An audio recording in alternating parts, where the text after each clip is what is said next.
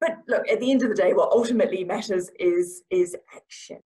Uh, and, you know, I mentioned at the start of the presentation that, that food waste occurs all along the supply chain, which means it's, it's everybody's problem and means that everybody needs to be part of the solution. Um, so there really is something for everybody to do.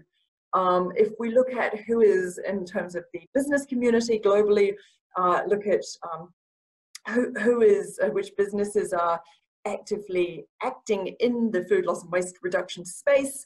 You know, over 20% uh, of the, the world's largest or 50 largest food companies are currently have active food loss and, and waste reduction programs. So, you know, businesses, an increasing number of businesses are, are seeing this as uh, an attractive um, space to be, to be working in.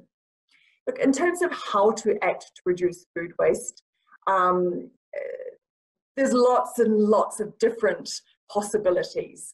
Uh, and I guess the, you know, again, just an, an illustrative, not exhaustive list of, of some of those um, initiatives, food waste reduction initiatives are up here on this slide. Um, solutions generally fall into four categories, so reducing waste at specific process points, reducing waste in specific products, reducing waste overall through improvements in the technology, forecasting, planning and scheduling. And, and then of course we have cross-cutting solutions, so things like uh, cold chain improvements. And of course technologies are a really key part in so solving the food waste puzzle. Um, and there's already some really cool, promising technologies for reducing food waste through the supply chain. Um, cool technologies in, in uh, smart smart farming and the production at the production level to reduce loss.